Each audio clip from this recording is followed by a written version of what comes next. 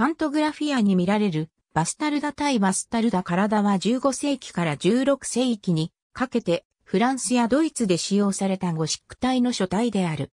バスタルダ体は国家の公式文書などではなく、重要度の低い書物や文書を写本する際の簡略化した文字として開発された。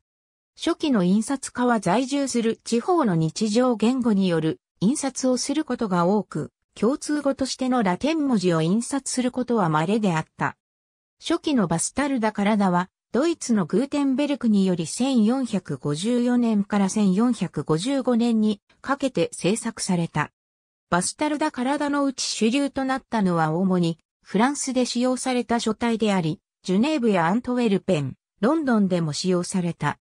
また、主流ではないもののキャクストンが生み出した書体も劣化版としてオランダで流通していた。